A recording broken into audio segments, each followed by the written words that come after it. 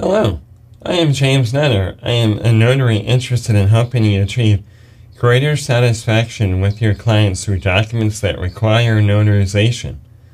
I believe in continuous improvement, and even though in the coming years I may be considered an expert in my field, I try to stay in apprentice mode and incorporate advances in technology, people, and industries. I left some areas for you to explore to get to know me better.